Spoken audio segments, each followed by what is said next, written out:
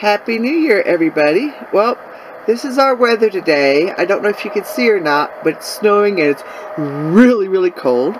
So I thought I would show you what we do for our New Year's Day, especially in this cold weather.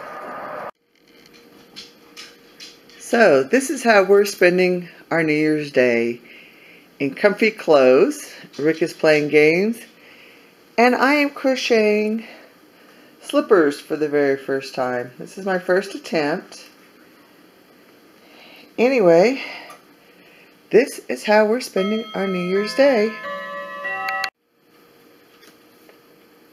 My husband said since I put him on camera, I had to be on camera. So anyway, I want to wish you all a Happy New Year. Hope it's a great year for everybody, and we'll talk to you later. Bye!